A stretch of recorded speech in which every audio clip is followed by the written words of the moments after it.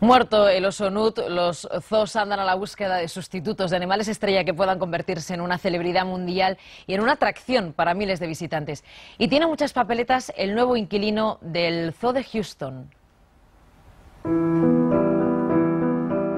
Este bebé de orangután nació el día 2 de marzo y fue abandonado por su madre, Kelly, que también vive en el zoo. Al pequeño le recogieron los cuidadores y le están criando a base de biberones y arropándole tal y como harían con un bebé.